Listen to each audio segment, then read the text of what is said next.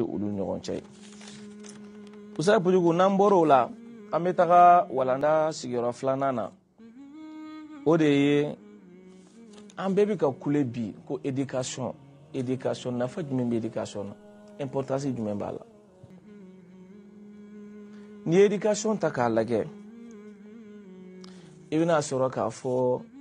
éducation nafa tɛ se ka fɔ ka ban a tɛ se ka fɔ ka ban o la dɔnnibaga dɔ bɛ a ko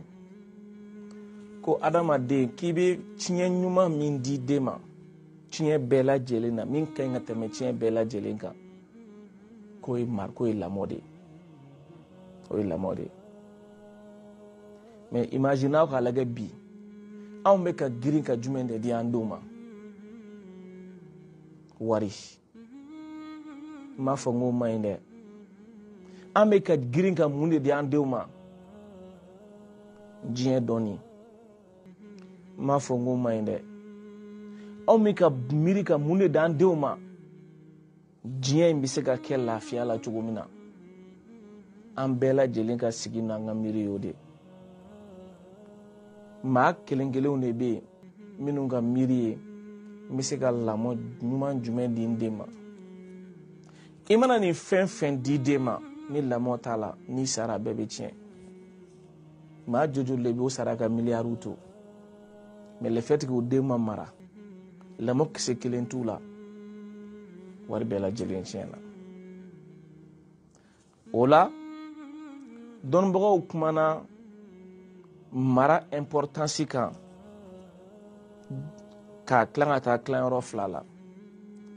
importansi global n'an b'a fɔ umuman n'i ye lamɔ ta k'a lagɛ ko baara min bɛ yen baara min ka fisa ka tɛmɛ diɲɛ baara bɛɛ lajɛlen kan o de ye mɔgɔ ka mɔgɔ adamaden lamɔ kan awɔ i bɛ miliyari di buna adamaden ma i bɛ sanu di adamaden ma i bɛ baara ɲini ka di adamaden ma i bɛ dɔnni di adamaden ma mɛ fɛn tɛ adama fɛn tɛ yen min valɛri ka bon ka tɛmɛ fɛn kan diɲɛ kɔnɔ i bɛ min di buna adamaden ma ka tɛmɛ mara kan n'o ye lamɔ ye lamɔ ɲuman a tɛ ye kelen wa u ko ale de fana ye fɛn ye fɛn min i b'i yɛrɛ masurunya ala subahana wa taala la kosɛbɛ kosɛbɛ ka tɛmɛ baara bɛɛ lajɛlen kan cogo di u ko lamɔ ye dawa de dawa kɔrɔ ka buna adamaden i bɛ adamaden wele ka na ala ma o bɛ don lamɔ kɔnɔ i bɛ adamaden kalan tuma dɔ la o bɛ don lamɔ kɔnɔ ka adamaden bilasira k'a ladi o ye lamɔ dɔ ye ka adamaden bilasira o fana ye lamɔ dɔ ye wa ka adamaden bila a ka baara kɛ o ye lamɔ dɔ ye ka adamaden bila a ka se ka ladigiliko ɲuman kɛ o fana ye lamɔ dɔ ye ka adamaden bila a ka se ka a yɛrɛbakun k'a nafa ani ka mɔgɔ wɛrɛ nafa n'o ye sigida ye n'i ye nin baara bɛɛ lajɛlen adamaden bɛ min kɛ nin bɛɛ lajɛlen bɛ lamɔ kɔnɔ o de kosɔn a ko maa fɔlɔfɔlɔ minnu bɛ yen nɔ n'u ye u u u u u ɛɛ u sinsin lamɔ kan n'ala n'u ye baara kɛ o ye cidenw ni nabiɲumanw de ye sabu ka d'a kan olu nana ka adamadenw mara bi cogo juguya min na ka dabila ka adamadenw su ka kɛ baaraw kan ka adamadenw su ka kɛ ɲɔgɔn hakɛ tanuli tangali kan ka adamadenw su ka diɲɛ ɲini u kana ɲina lahara kɔ olu ye nin baara fila de kɛ mɛ n'an taara de façon spécifique n'o ye khususan a ko n'a fɔra ko éducation o de ye jumɛn ye i ka lamɔ baara yɛrɛ i ka wuli ka jɔ n'o o baara ye ani laɲini min bɛ lamɔ la i k'o baara kɛ mɛ bi sharti a ka kɛ ko laɲini min b'a la i den minnu bɛ yen nɔ i bɛ fɛ k'u ka diɲɛ an'u ka lahara k'o de dilan ni lamɔ ye o de kosɔn n'i y'a ye kuma bɛɛ silamɛya bɛ kuma fɛn fila de kan diɲɛ ani lahara parce que adamaden bɛ nin fila de ni ɲɔgɔn cɛ i sɔnna o n'i tɛ diɲɛ na i bɛ yɔrɔ dɔ la i ma sɔn o n'i tɛ diɲɛ na i bɛ yɔrɔ dɔ la maa si kɔni tɛ yen min ye ɲɔgɔn sɔsɔ k'a fɔ k'an tɛ to nin dugukolo in sanfɛ don dɔ la an bɛ ta ka bɔ yan ɔ an n'an bɔra yen an bɛ taa yɔrɔ min sa dɔw de b'o bɛɛ dɔw ye faamuya k'o la mɛ mɔgɔ o mɔgɔ bɛ yen n'i ye diinɛtigi ye kɛra silamɛya ye a kɛra kerecɛnya ye a kɛra zifuya ye nin bɛɛ lajɛlen dalen b'a la k'a fɔ ko don dɔ bɛ yen don min ni ala bɛna taa bunahadamaden kelen kelen bɛɛ lajɛlen ɲininka i ka kɛta la siga foyi to la nin diinɛ saba bɛɛ lajɛlen sɔnnen don nin ma bɔn maa dɔw ko k'olu sɔnnen t'a ma olu ka u ka problème don an t'an da dɔw la donc o kosɔn i bɛna ye lamɔ min filɛ nin n'a b'an bolo usari kojugu lamɔ in ye fan fila ye a fan fɔlɔ fɔlɔ fɔlɔ fɔlɔ fɔlɔ o de ye lamɔ min bɛ kɛ n'a bɛ f'o ma ko a taribiyal badaniya ka hadamaden farikolo k'o lamɔ n'an b'a f'o ma tubabukan na ko éducation physique hadamaden farisogo o bɛ lamɔ ni jumɛn ye dumuni ji fani siyɔrɔ ɲuman dayɔrɔ ɲuman ani kɛnɛya sabudugu bi anw ka lamɔ lamɔ sigilen don nin de kan i bɛ dutigi caman ye a bɛ hami n den ma n bɛna fɛn jumɛn di n den ma a k'a dun o y'a ka hami fɔlɔfɔlɔ ye n bɛna n den bila yɔrɔ jumɛn a ka si o y'a ka hami filanan ye ni n den banana n bɛ se k'a furakɛ wa o y'a ka hami sabanan ye den bɛ se ka lafiya jumɛn sɔrɔ diɲɛ kɔnɔ n'o de ye a ka se ka baara sɔrɔ ka jɔ n'a yɛrɛ nin de ye dutigi fanba ka hami ye o kɔrɔ ye k'a fɔ anw bɛ miiri fɛn min na ka caya o ye éducation corporelle de ye n'an b'a fɔ ma ko éducation physique mais le côté moral maa caman bɛ ɲinɛ o kɔ n'an b'a fara kan ko a jani bo ruhi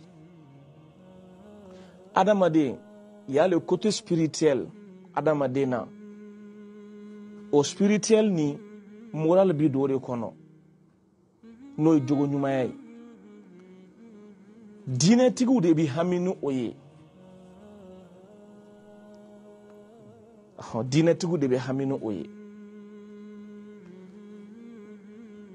mɛ i b'a sɔrɔ k'a fɔ maa minnu ni ala ma diinɛ faamuya d'u ma u b'a ye u bi hami u denw bɛ se ka taa ekɔlibaw la cogo min na u bɛ taa ekɔliba minnu na n'u bɛ taa miliyɔnw sara laɲini tɛ k'a fɔ k'u ka ala dɔn laɲini tɛ k'u ka kira dɔn laɲini tɛ k'u ko se k'u ka diinɛ kalan k'a dɔn yaasa u ka se ka kisi alakiramati jɔ don mɛ laɲini ye jumɛn ye u bɛ se ka diɲɛ in sɔrɔ cogo min lafiya la tiɲɛ don dɔnnibagaw y'a fɔ ko hakili fana mago bɛ balo de la hakili ale fana mago bɛ balo la ale ka balo ye jumɛn ye k'o ye dɔɔni ye o ye tiɲɛ ye mɛ hakili ni farikolo farisogo olu fana mago bɛ dumuni dɔ la maa caman bɛ ɲinɛ o de kɔ o de ye dumuni jumɛn de ye la spiritualité e ma la u ka u ka filozofu dɔ bɛ yen n'i ma fili u b'a fɔ ma ko rabelɛ denmisɛnninw b'a kalan filozofi la ka caya a b'a fɔ de ko la science sans conscience est une de l'âme i mana dɔɔni kalan cogo o cogo ni mara t'i bolo dɔɔni na lamɔ dɔ t'i bolo dɔɔni kɔnɔna na k'a bɛ ni tiɲɛ de c'est balaw de don c'est vrai olu ye philosophe ye u bɛ kuma cogo dɔ la mais e ka jateminɛ conscience bɛ dilan cogo di k'a fɔ adamaden ka conscience sɔrɔ lamɔ de b'a to adamaden bɛ conscience sɔrɔ n'i ye nin kɛ kɔlɔlɔ nin kɔlɔlɔ b'a la n'i ye nin kɛ nin bɛ kɛ tan e mana adamadenw tɔɲɔ nin kɔlɔlɔ b'a la diɲɛ nin kɔlɔlɔ b'a la lahara c'est ça la conscience donc l'éducation spirituelle ale baselo no adamaden ka moral de kan ani ka conscience ale bɛ nin ale bɛ nin de lamɔ ka nin ko ka nin saniya ka nin bila nin bɛ kɛ farikolo ta ye usaz pujugu nin yɔrɔ in ɲagaminen don dɛ nin ye walanda belebeleba de ye adamaden antite fila dɔrɔn de ye n'an b'a fɔ ko eh, eh, adamaden ye fɛn fila de ye ni ani farikolo farikolo kunkolo bɛ farikolo la fɛn wɛrɛ bɛ farikolo la hakili bɛ farikolo la nin bɛɛ lajɛlen bɛ farikolo la mɛ ni ni ni nɔgɔra nin bɛɛ bɛ nɔgɔ a nɔfɛ wa ni ninnu bɛɛ lajɛlen jɛra ni ni ma saniya ninnu bɛɛ lajɛlen bɛ tila ka kɛ fɛn fu de ye tuguni sabu ka d'a kan u tɛ se ka nafa foyi ɲɛ ni ye o de kosɔn diinɛ na n'i taara n'i taara n'i nana silamɛya la i b'a sɔrɔ rasulu sɔlɔlɔhu aleyhi wasalam an bɛ na s a ma a ye baara fɔlɔfɔlɔ min kɛ o adama ka adamadamaden ni saniya ka adamadamaden ni ko ka saniya ni adamadamaden ni saniyara ni bɛ farikolo tɔw ko k'a jɛ sepuru kan i bɛna ye k'a fɔ porobilen ba anw da la bi diɲɛ kɔnɔ an ka lamɔ ni fɛnw na an bɛna s a ma porobilen wɛrɛ tɛ o se paseke an ye lamɔ mɔdli min ta fankelenman de don an y'an base adamaden farikolo de kan ka ɲina adamaden yɛrɛ ka mɔtɛri kɔ n'o ye adamaden nin ye bɔn tant que an ma segin o de ma ka ni edikasɔn fila don ɲɔgɔn na an bɛ ka solisɔn min ɲini diɲɛ kɔnɔ a tɛ sɔrɔ yɔrɔ pa de solisɔn n bɛ misaliya d'i ma bi bi na alihamudulilayi ee médiaw filɛ nin ye plateforme bɛ fan bɛɛ fɛ réseaux sociaux kan bɛɛ bɛ kuma mais a jateminɛ kɛ maa min marala du kɔnɔ maa min ni ka sanu ani maa min ni ma sanu n'a y'a sigi ka kuma dɔrɔn e min hakilima i b'a dɔn k'a fɔ nin bɛ bɔ du jumɛn kɔnɔ nin ye éducation jumɛn sɔrɔ nin min fana filɛ ka kuma nin ye éducation jumɛn sɔrɔ i bɛ se k'o dɔn ka bɔ ɲɔgɔn na hali u ka kumaw aborder cogo mɔgɔ min ma mara n'ale bɛ kuma i b'a dɔn a la k'a fɔ ko nin ma mara a kalanna dɛ mɛ a ma mara mɛ maa min marala i b'a dɔn k'a fɔ a ka kuma cogo la ko nin marala o la tuma dɔ la kalan ni mara tɛ kelen ye n y'o f'i ye kuma daminɛ na ɛɛ an b'a fɔ o de ma ko la sagesse n'o de ye hikima ye anw ka jamana in kɔnɔ yan farafinna gun sanfɛ an ka fɔlɔfɔlɔ cɛkɔrɔbaw tun ma kala ni k'u tun ma kala o tɛ se u tun tɛ se sɛbɛn na u tɛ se ka u tɛ se ka fɛn ye k'a kalan parce que pour nous o de ye kalan ye hali n'a sɔrɔ o ye fangelema ye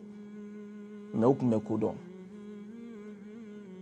diplôme tun t'u bolo dɛfu t'u bolo baki t'u bolo dɛki t'u bolo lisansi t'u bolo maîtrise t'u bolo deya t'u bolo eh, master t'u bolo doctorat de professeur t'u bolo mais a mɔgɔ kelen a tun bɛ se ka maa kɛmɛ hirika mara ni kumakan kelen pewu ye n'a ka comportement ye mais or que bi an taara école baw la an ye livre baw kalan mais pourquoi ça ne va pas c'est parce que an kalanna de an ma mara an ye kalan de kɛ an y'an ka ɲɛnamaya bɛɛ kɛ kalan de la mais mara yɔrɔ in o o o bɔra an ka kalan kɔnɔ c'est pour ka silamɛw fɛ yen adamaden tɛ se ka mara ni ni entité fila ma taa ni ɲɔgɔn ye o de kosɔn i b'a ye n'i taara silamɛ kalanyɔrɔw la i b'a u bɛ diɲɛ kalan u bɛ lahara kalan o kɔrɔ u bɛ ala ko kalan u bɛ fɛn wɛrɛ kalan o de kosɔn ne bi ne mana sigi yɔrɔ yɔrɔ n bɛ n porofite nin plato in kan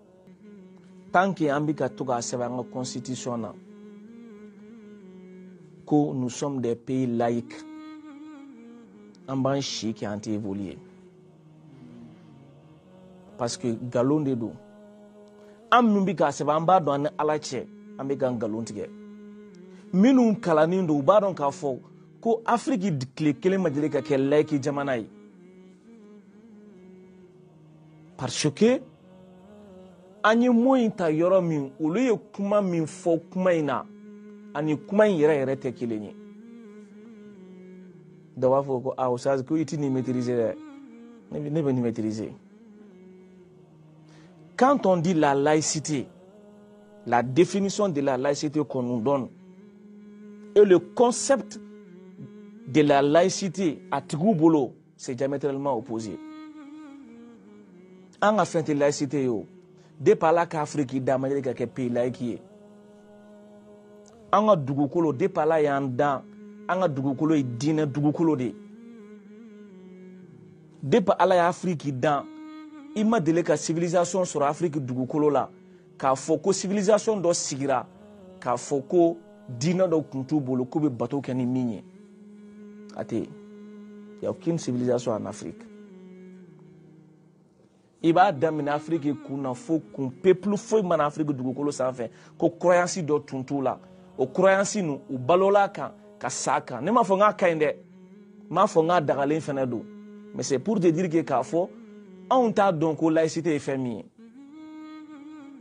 parce que laïcité yɛrɛ yɛrɛ kɔrɔ ka alako bɔ diinɛ na e ka ala ko bɔ jamana mara la o de ye laïcité ye ahɔn ka jamana mara ka sɔrɔ ala ko t'a la c'est ça la laïcité pourquoi on nous dit que nos écoles sont laïques ala ko bɛ kalan ekɔliso la c'est ça an bɛ tila k'o to sɛbɛn an ka constitution na ko l'enseignement est laïque ou bien nous sommes un pays laïque c'est faux ne kɔni dabali banna c'est vrai c'est pas le terme mais je profite k'a fɔ k'a fɔ anw bɛ sɔn ka taa sɛbɛn an ka constitution na cogo di ko le mali est un pays laïque e ne ɲɛ tulo bɛ mɔgɔw la mɔgɔw bɛ ka kuma article bɛ ta article bɛ ta mais maa si tɛ ka kuma nin yɔrɔnin kan nin yɛrɛ de ye balawu ye le mali n'a jamais été un pays laïque ni mɔgɔ mɔgɔ bɛ se k'a fɔ ne ye ko nkalon don walahi n labɛnnen don a ka n wele plateau min y'a diya yɔrɔ min y'a diya an ka débat in kɛ n'a sera na n tɛ waajuli kɛ tugun n tɛ kuma plateau kan yanni saya cɛ a tɛ yen il y a aucun historien il y a aucun historien au Mali min bɛ se k'a fɔ ne ɲɛna ko nin civilisation in delila ka mara kɛ jamali kɔnɔ k'a fɔ ko diinɛ kun t'a mara la dɔ ka dɔ fɔ n ye n'a sɔrɔla ye u bɛ min fɔ an ɲɛna ko laïcité de kɔrɔ ye ko ka bɛɛ to yen k'i ka diinɛ kɛ walahi nkalon don walahi nkalon don laïcité bɔra tubabu de fɛ yen a nana contexte jumɛn na a ka taa an ka contexte sori kɛ kɛ n ko egilizi de tun bɛ mara kɛ diinɛ kelen pewu de tun bɛ tubabuw fɛ yen diinɛ fila tun tɛ yen soit i b'i soumis église ye soit église b'i écraser ye c'était ça tubabu ma deli ka diinɛ fila dɔn diinɛ kelen pewu maintenant u nana mankan ci kuma min église ye dérapage kɛ kuma min na église ka mara tiɲɛna a bolo egilizi maraw ye nkalon tigɛ ka ɲagami ɲagami don diinɛ na ka diinɛ ta k'a di ɲɛmɔgɔw ma u ka diinɛ u ka jamana kɔnɔdenw mɔnɔntɔ ni diinɛ tɔgɔ ye bɛɛ bi mɔgɔw mara mɔgɔw bɛ faga hali n'i nana ni dɔnni dɔ ye min bɛ yen nɔ dɔrɔn ni mɔgɔw delilen t'o la u bɛ sin k'a fɔ ten ko c'est satanique Eglidikaw ko k'i faga ninnu b'i faga c'est en ce moment que les gens se sont révoltés contre l'église u ko n'o don min don sisan église yɛrɛ k'i da bɔ an ka diɲɛ marako la an yɛrɛ ka église yɛrɛ bila kɔfɛ c'est pourquoi quand n'i ye n'i ye philosophes ka pensées kalan les gens critiquent certains philosophes parce que u ye nin kuma in fɔ u ye nin kuma in fɔ non c'est parce que u ye réalité dɔ de vécu o reality in de y'a tugu ye kuma in fɔ karl max kelen kelen min filɛ nin kan karl max di a b'a fɛ a ka kuma dɔ la k'a fɔ ko diinɛmɔgɔw ye ko mɔgɔ kegumanw de don u b'u porofite adamadenw ka situation de la ko k'a fɔ ala ye nin fɔ ala nin kɛ ta ko ala ko yɛrɛ tɛ tiɲɛ ala ma foyi fɔ ko i sɔn malɛ mɛ mun y'a to a y'a fɔ c'est parce que a ye epoque min veki egilizi tun bɛ ka adamadenw traite cogo min na ani diinɛmɔgɔ tun bɛ ka adamadenw traite cogo min na a y'a a y'a a profite o situation de fɛ ka sɔrɔ ka kuma in fɔ ne m'a fɔ silamɛ don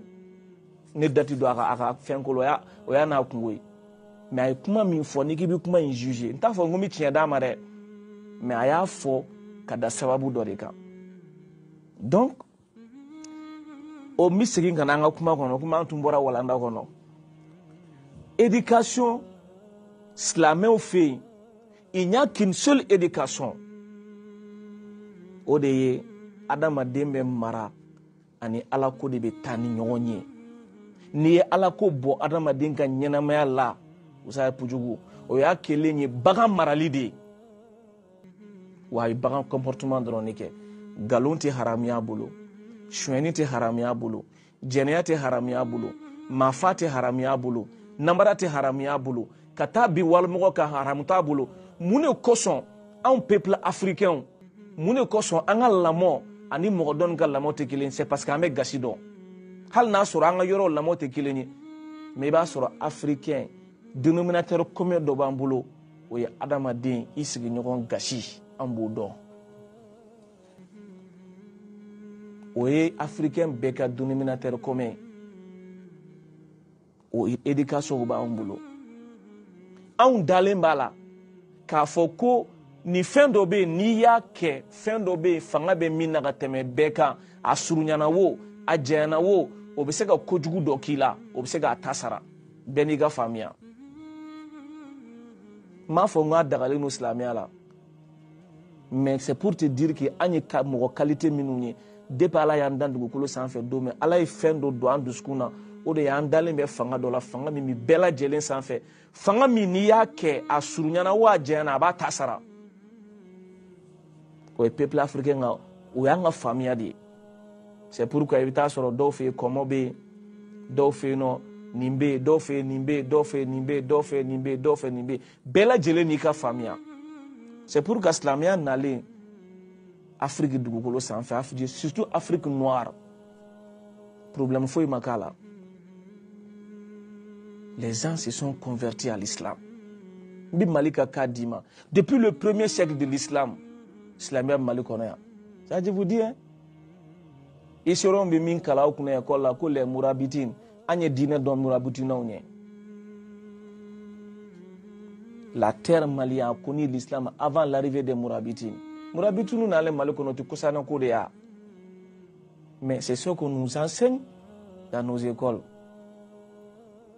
Parce que c'est faux, c'est archi faux.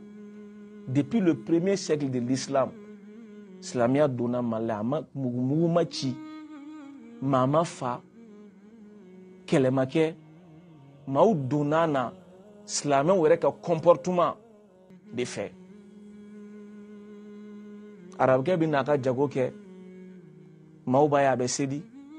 fɛn dɔ bɛ a tɛ sɔn a ma